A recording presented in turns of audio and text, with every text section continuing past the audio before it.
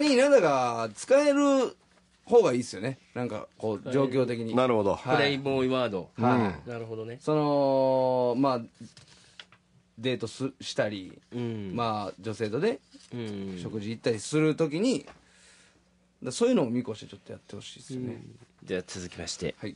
栃木県のはい。鉄仮面さんのプレイボーイ稲田。お嬢さんあなたが落としたのは金の斧ですか？銀の斧ですか？それとも稲田のハートですか？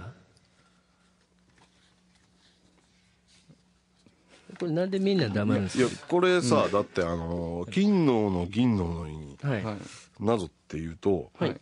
稲田のハートって言うとあかんねんな。うん。金の斧ですか？銀の斧ですか？いえいえ違うんです。私が落としたのはもうあの使い古した斧です。はい正直なあなたには稲田のハート差し上げますっていうことでしょこれ。まあ言っちゃうとそうですよね、うん。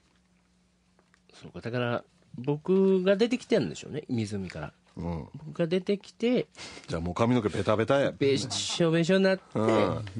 あの気に入った女性やったから、あの稲田のハートをあげようと、なんで水の中隠れてんのお前怖いって。カッパやんもう。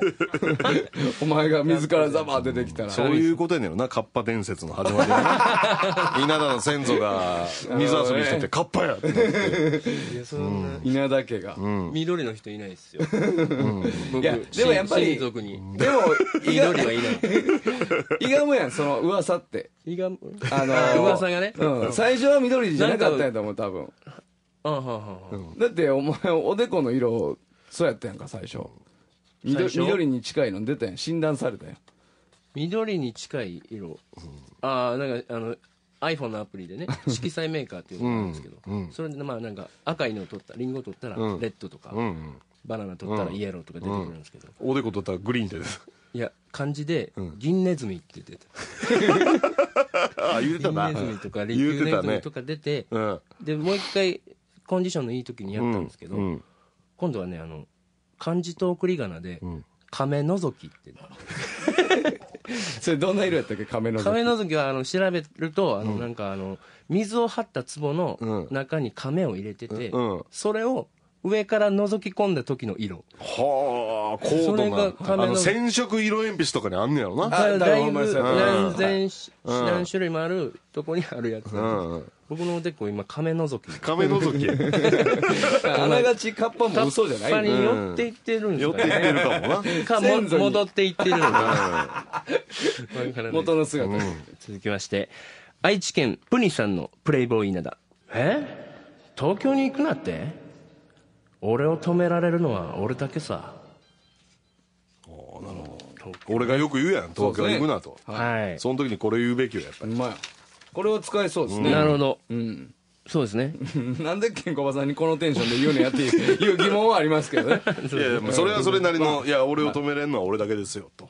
なので、まあ多少の言い方を変えて、なるほど、まあリアルに使えるやつはいいですよね。いいですね。勉強になりますね。あと、まあ、吉本の社員にな。あかんよな、東京行ったら。って言われたら俺を止めれるのは俺だけですよ。もう一回「いやだからあかんよ」って言われます 何言ってんの？あかん大阪所属のままなんでしょう、止められてますよはい続きまして愛知県前立腺支店のスザクカウパー飲み放題のプレイボーイ稲田おばあちゃんここ座っていいぜ。気にしなくていいぜ俺は座りたかったわけじゃなく優先座席を占拠する非常識者から席を確保していただけさ。ん？あなたこそ座るべきだって？ババア俺は年寄りじゃねえよ。全然プレイボーイでもなんでもな。い。ババただ悪態ついてバア。俺は年寄りじゃねえよ。せめてプレイボーイには仕上げたってくださいよね。お年寄りに顔いじられて悪態ついただけで。ちょっと切れて。救いどころない。印象も悪いし、さあ番組ではプレイボーイなどで言ってほしいフレーズを募集しております。受付は FM 大阪 .net FM 大阪 .net のリクエストホームから天ガチャ屋を選んで送ってきてください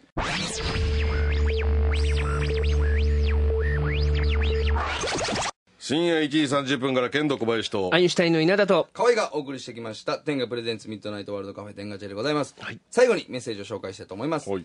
京都府のラジオネームこれから脳内妄想人さん26歳の男性の方からいただきました。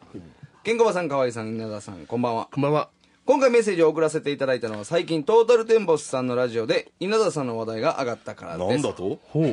その内容は最近流行りのゲーム「妖怪ウォッチ」で DS の、えー、任天堂 d s の機能を使いおうおうおう。人の顔の写真を撮ると妖怪が手に入るという話でした、ほその機能を使って稲田さんの写真を撮ると花坂 G という激レア妖怪が手に入るらしいので子供たちがこぞって稲田さんの顔を検索しているらしいです。稲田さんの顔がよくネタに、えーネタとしていじられていますがこうして子供たちに喜びを与えているということは五輪年の呪縛も少しは経験されそうですね。これは結構マジな話なのこれはね、ネットで、あのめっちゃ噂にちょっと話題になってんの話題になってまして、すごいっすよ。なんか、DS でカメラあるじゃないですか、うん。でまあ、ゲームとはちょっとまた別の機能で、ん。あの不思議なレンズっていう、例えば人をパシャって撮ったら、ん。その横らへんにランダムで妖怪が出るんですけど、うん。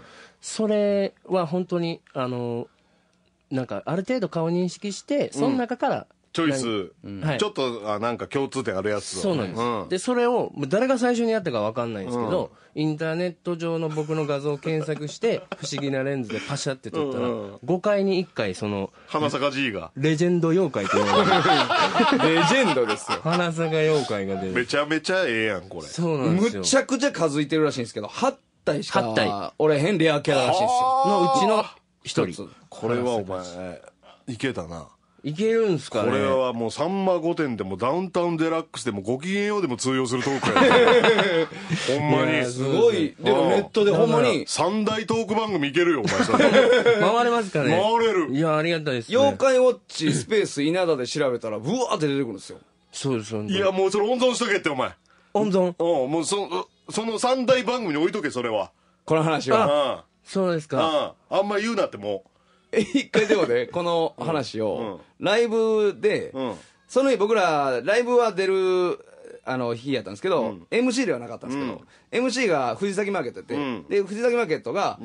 MC で稲ちゃんがこんなんこんなんで、うん。っていう話をしてたんですけど、うんその日またあのファイブアップ吉本満席やったんですよ、立ち見も出てて、でいろんなお客さんおって知ってる人って聞いたらお客さんもブワーって上がってでお客さんも結構知ってたんですよ。メジャーなってんねやもうはい。これはネット上で。でうわすごいなってなって、ほんなら稲ちゃん呼ぼうやってなって、その MC が最初出て行った時に、オープニングのトークで稲田呼び込み、呼んでもらって、で稲田出て行ってでまあわーって喋って、でしてたらそのお客さんの中にちっちゃい女の子がいてて、うん。でその子が DS 持ってたんですよ、うん。妖怪ウォッチの。